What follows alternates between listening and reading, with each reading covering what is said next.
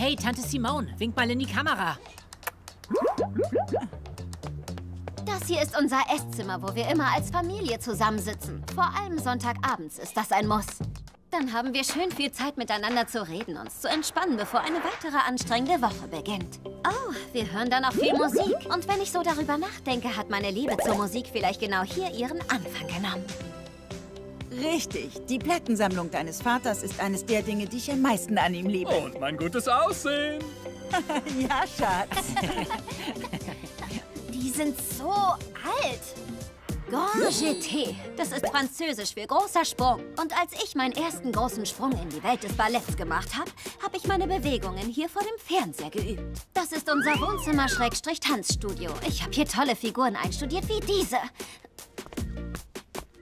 Du das drauf, Jax? Äh, ja.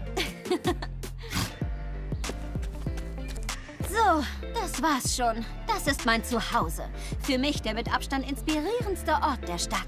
Wo ich Risiken eingehen kann und mit meiner Kunst experimentiere. Und mit dem Rückhalt meiner Familie weiß ich, dass mir nichts passieren kann. Auch wenn mal was schief läuft. Ah, warum musst du so sentimental sein? Jayla, jetzt müssen wir das nochmal aufnehmen.